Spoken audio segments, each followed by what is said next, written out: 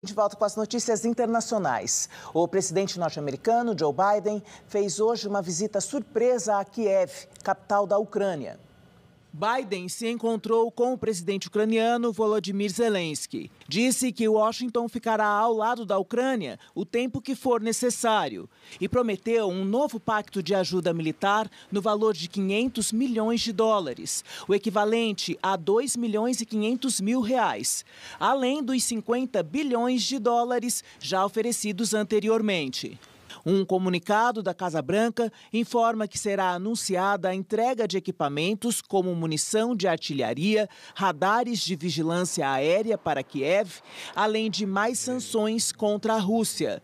Essa é a primeira vez que o presidente norte-americano visita a Ucrânia desde a invasão russa.